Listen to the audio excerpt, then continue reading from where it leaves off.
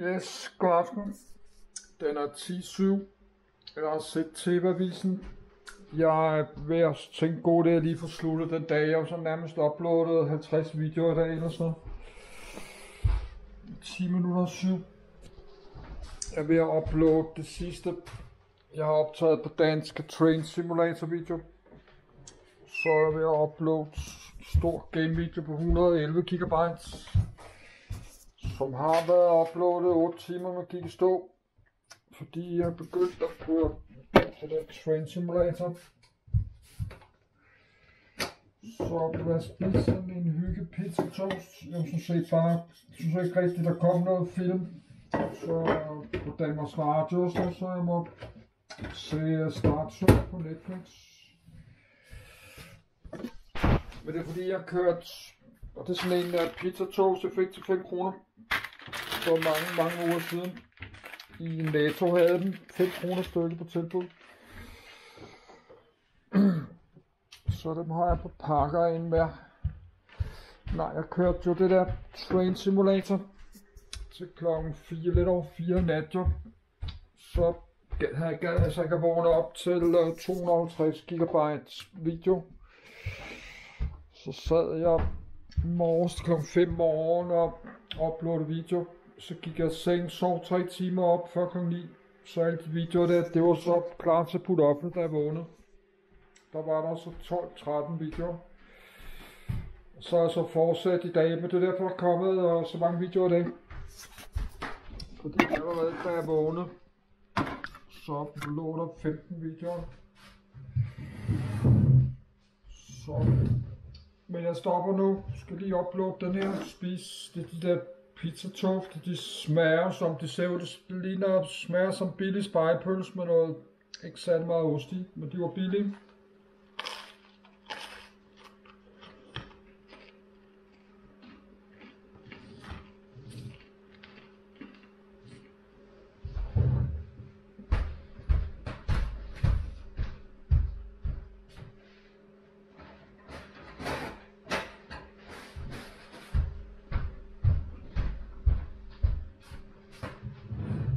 Men øhm, jeg kom der næsten sådan gennem julen. Så jeg vil hoppe i, for at uploade til sidst, så kom i seng.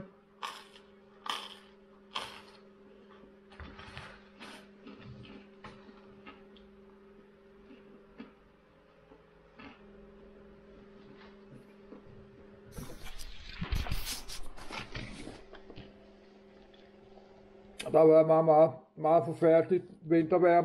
Isene kom historisk kulde kommet fra Canada hele vejen ned over USA. Og de har jo flere hundrede tusind hjemløse. Så der har været minus noget Montana deroppe, har der været minus 45 grader, så det er sådan noget med, at dør nærmest er kulde, også helt langt hernede. Helt nede sydpå, der har været nærmest 20 grader frost. Så der, så er der altså flere hundrede tusind mennesker, der bor og lever på gaden i telte og psykisk syge og stofmisbrugere. Mennesker, der bor 10.000 vis, der bor i deres biler og sådan noget.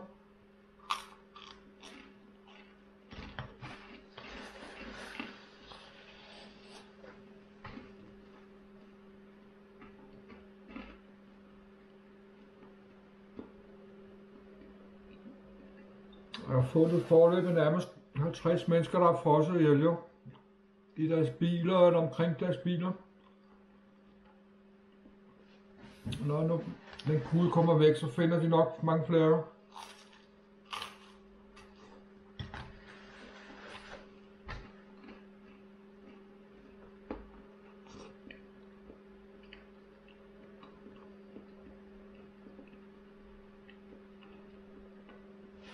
Der er mange hjemløse. De har jo ikke udstyr. De har jo ikke telt, de kan overleve i 10-20 grader frost.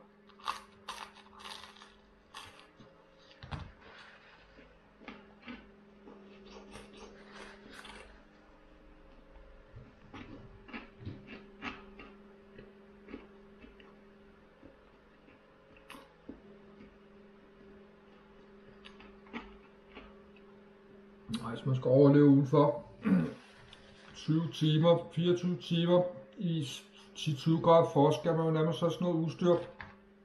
Man er på Nordpolen af Antarktis, man skal have sådan noget specielt telt og tøj sådan noget.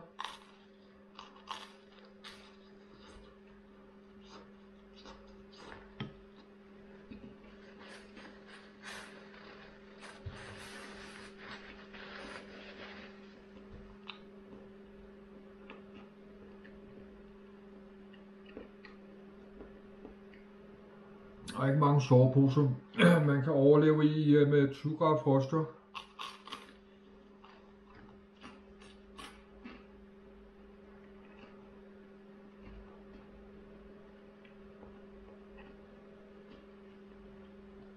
Så det er trist, det er sådan, ja.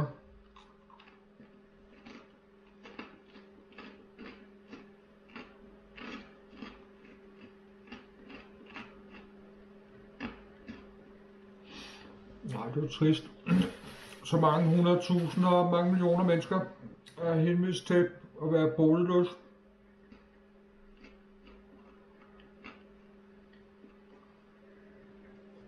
Det behøver ikke at være sådan, jo. Kan du godt få et sted, en eller anden måde, de kan have et sted at være.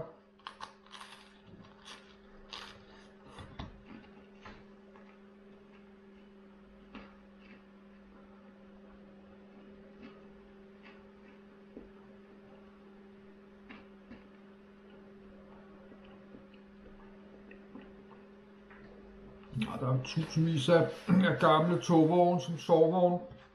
Tusindvis af gamle sovevogne, man kunne indrette til øh, boligløs.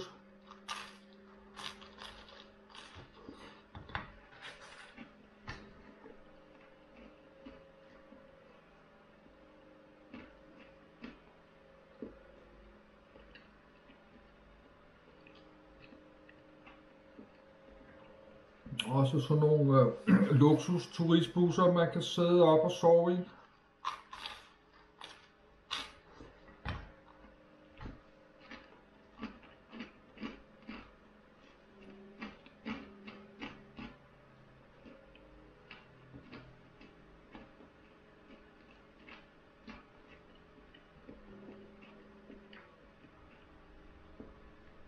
Nej, det kunne være sådan nogle øh, busser, hvor hjemløse kan komme ind og sidde og sove i øh, sikkerhed for natten.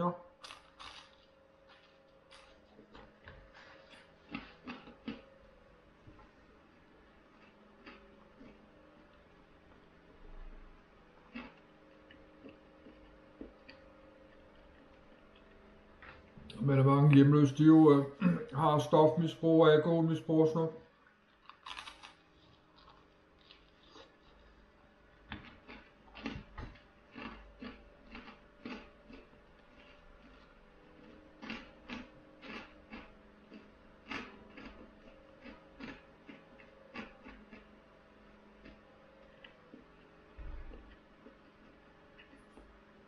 Nej, i Japan, i Japan har de sådan nogle buslinjer, som ikke rigtig kører nogen steder, men så bare kører, så folk kan have, de har et sted, de kan være om natten.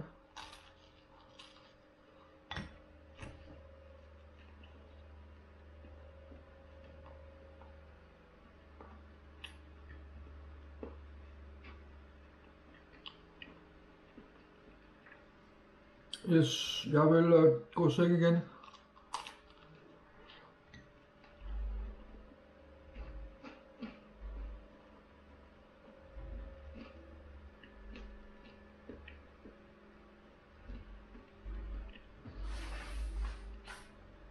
Så det er en kæmpe bog, det er en kæmpe luksus at have sin egen bolig med varme og bad og toilet og sådan.